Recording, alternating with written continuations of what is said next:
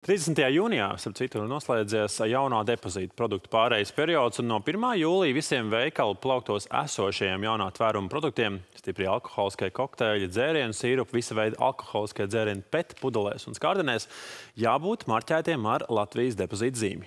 Kādas kopumā ir tendences, kāds ir kopējais depozīta punktos nodoto iepakojumu skaits? Par to turpmākajās minūtēs sarunā ar uzņēmumu depozīta iepakojuma operators valdes priekšsēdētāju Niku Stūrīti. Labrīt! Labrīt. Labrīt. Ja mēs nu pat sarunas anotācijā minējam, ka no 1. jūlija šiem jaunajiem depozīta sistēmas produktiem jābūt marķētiem ar Latvijas depozīta zīmi, ko rāda realitāte. Tas vārds jābūt ir pārtaps par ir, un tiešām visiem ir jau šis jaunais marķējums. Jā, nu mūsu novērotais liecina, ka, ka ir, uh, un pārējais periods jau ir gan īsti seši mēneši, ja, no 1. janvāra, ja, tā kā, tā kā absolūti lielākā daļa ir.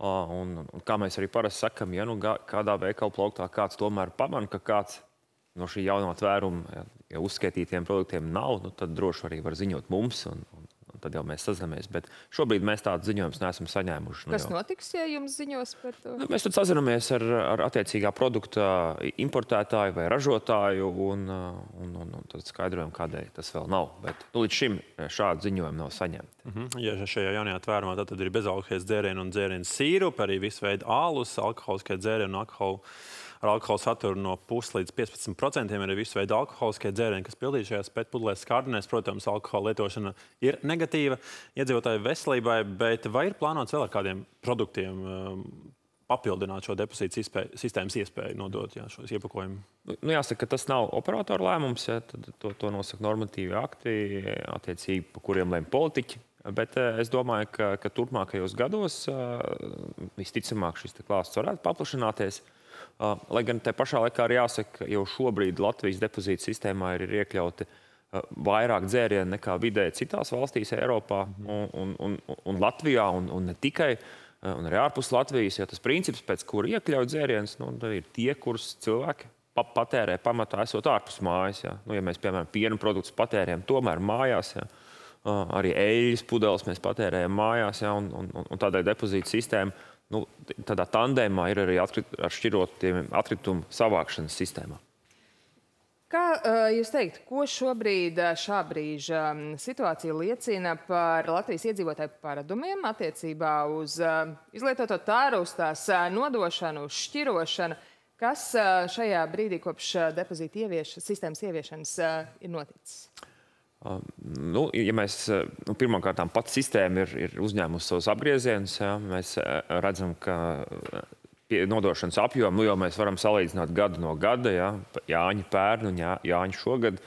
Ja pērn bija tajā rekorddienā, bija, vai pēcjāņa dienās bija 1,4 miljonu dienā, tad šogad jau sasniedza jau 2 miljonu dienā. Ja, tātad šeit apjoma aug. Uh, Bet papildus tam arī mēs redzam, ka depozīta sistēmas ieviešana ir uzlabojusi arī šķirošanas kultūru, atkritumu šķirošanas kultūru. To liecina gan pētījumi, gan arī, arī to, ko saka arī atkrituma apsaimniekotāji. Tad cilvēki ir sākuši šķirot vairāk, un pat tie, kuri līdz tam uzskatīja, ka šķirošana nu, tas nav par viņu ieradumiem, ja, tad, tagad, kad ir depozīta sistēma un ir vēl papildus finansiāla motivācija, un šis iepakojums ir jāatšķiro, tad, nu, ja jau es esmu atšķirojis depozīta iepakojumu, nu, tad kāpēc gan es arī tās pārējās lietas neatšķirošu? Jā, mēs visi labi zinām, ejot pie šī aromāta, mēs varam arī izvēlēties ar iespēju ziedot naudiņu.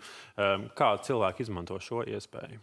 Ah, nu, tā tendence rāda, ka ziedu apmēram, ja, ja, ja Ziemassvētkos un ziemas periodā tas bija nedaudz pārpa procentu, ja, tad tagad sezonas laikā ir nokrities nedaudz zem procenta, bet nu, kopš mēs esam uzsākuši, nu, esmu saziedot gandrīz 200 tūkstoši eiro.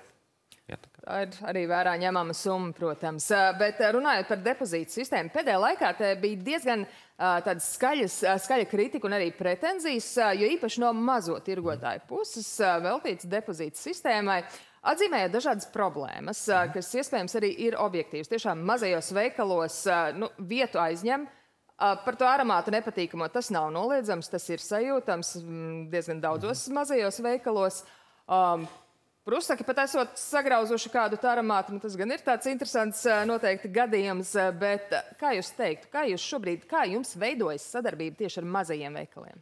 Nu, šeit, ja mēs jāstāsta ir kopumā, jau mēs arī nesen uztaisījām arī, arī aptauju arī ar savu sadarbības partneru tirgotāju vidū.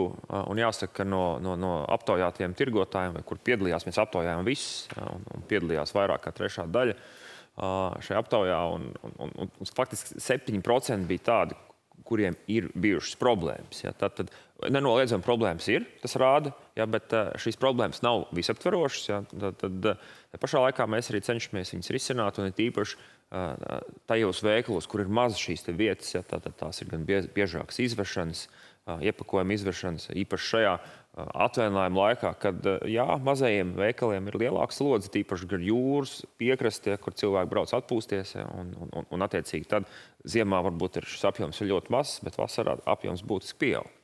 Starp citu, jā, par šīm izvešanām tieši no um, publiskās retorikas uh, depozīta uh, sistēmas pārstāvja teica, mazajiem veikaliem vienkārši ir jāpiesaka biežāk izvešana. Mēs esam brau, gatavi braukt kaut vai katru mm. dienu. Tad kas notiek? Nepiesaka vienkārši. Kur ir tā kavēšanās? Nu, grūti par katru individuālu gadījumu, protams, ir, ir, ir, ir dokumentēt, bet uh, situācijas ir ļoti dažādas. Jā, tāpēc, ka ir veikali, kuriem ir pietiekami daudz uh, vietas, jā, un tad, uh, tad, tad, tad šajā gadījumā viņi biežāk teiksim, tiek izvests retāk nekā, uh, jo ir mazāk attiecīgi arī šī saistīto pienākumu tajā brīdī. Jā. Jā, vēl viens interesants arī aspekts, ka, kas jāatzīmē, ka veikali jau arī saņem zināmu finansiālu atlīdzību par to, ka piedalās. Par katru pieņemto un sašķiroto iepakojumu mēs kā operators maksājam apsaimniekošanas maksu.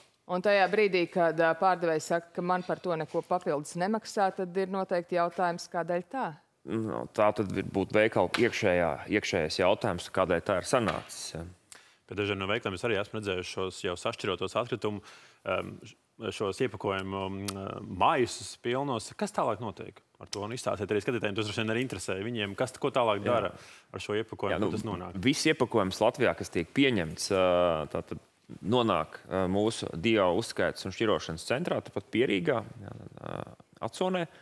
Un šajā centrā pie, iepakojums tiek gan sašķirots, gan arī tas, kas nāk no manuālām pieņemšanas vietām, arī saskaitīts vēlreiz. Ja? Un tālāk sadalīts jau pa materiālu veidiem. Uh, Piemēram, plasmas tiek šķirot divās frak frakcijās, ja caurspīdīgās pēcpudeles un krāsainās, alumīnijas atšķirots no tērauda, stikls atšķirots pa krāsām, nodalīts arī pudeles, kas tiek atgrieztas ražotājiem atkārtotai uzpildēji. Un jāsaka, ka divas trešdaļas no visām stikla pudelēm tādas ir, un Latvija ar to arī var lepoties.